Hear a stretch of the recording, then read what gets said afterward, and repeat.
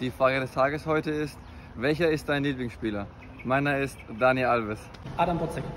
Adam Botzek. Sergio Ramos. Ruben Henning. Fußballgott. Unser Kapitän. Lionel Messi.